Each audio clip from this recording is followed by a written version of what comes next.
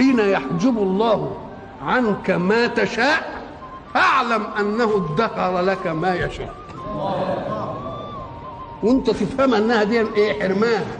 يقول لا أنا مش حرمان. ده في عطاء ثاني بس أنت بتطلب على قد إيه؟ معرفتك. وربنا عامل عليك كنترول. يقول لك أنت طالب دي ده أنت اهبل أنت مش إيه اللي ده أنا همنعك ديت عشان أنا مدخل لك إيه؟ أنا مدخل لك حاجة أحسن منك.